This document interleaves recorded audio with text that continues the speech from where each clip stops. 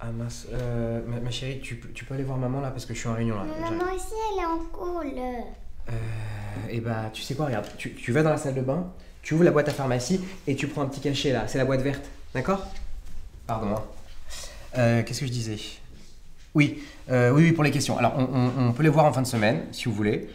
Comment? La boîte avec écrit hémorroïde. Ah non, non, non, c'est à papa ça hein Il va vraiment falloir mettre de l'ordre dans l'organisation. C'est très important que chacun puisse travailler individuellement, chez soi, dans le calme, tout en reportant régulièrement finalement. Et finalement, c'est la clé du succès, je l'ai toujours dit. Organisation, organisation, organisation, parce que sinon après c'est le bordel. Et, et- et- dans le bordel, on, on peut pas travailler. hein. Aïe, les enfants, s'il vous plaît. Chacun son tour, vous me dites ce qui se passe. vous me dites ce que- On s'ennuie. Euh, oui, je, je- je sais mon cœur, euh, la nounou est malade, mais donc euh, bah allez jouer dans le jardin, hein. Mais on n'a pas de jardin. Ah, et bah allez dans votre chambre. Voilà. Mais t'es dans notre chambre. Ah oui. Euh, eh, vous savez quoi les enfants? J'ai une idée. On va mélanger deux jeux, d'accord? Roi du silence et cache-cache, ok?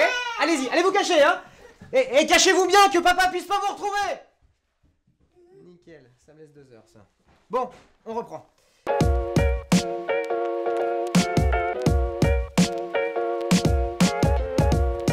Des anecdotes comme celle-ci, on a tous connu et probablement qu'on aura encore à en connaître quelques-unes. Mais c'est pas bien grave, même la meilleure des organisations a parfois ses failles. Ce télétravail, il faut qu'on apprenne à faire avec et ça nécessite des temps d'adaptation. Donc si ça vous arrive, ne paniquez pas. Hein, Restez naturel, euh, peut-être qu'il faudra faire rapidement les présentations et puis ensuite reprenez normalement le cours de votre discussion, de votre réunion de façon professionnelle.